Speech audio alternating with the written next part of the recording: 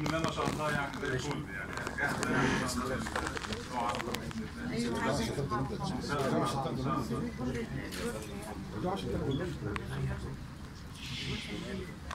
معلش معلش هو هم هنا لو لو ما عرفتيش تروحي مع نفسك هيطلعوا عربيه ان شاء الله باذن الله